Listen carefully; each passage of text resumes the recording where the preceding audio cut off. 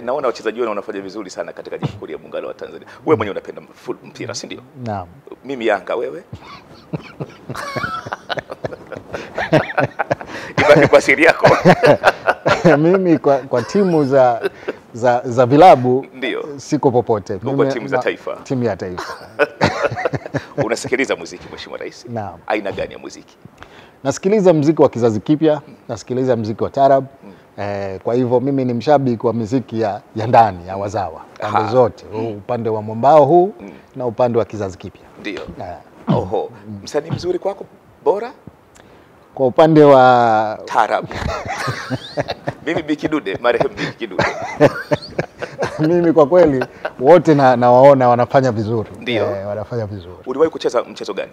Nilicheza mpira wa miguu Oh, Yeah. namba ngapi Mheshimiwa Rais? mimi nilikuwa namba kumi. Oh, Eh, namba- mfungaji mzuri ulikuwa. striker hatari sana. Kama Faisal. Faisal. Na-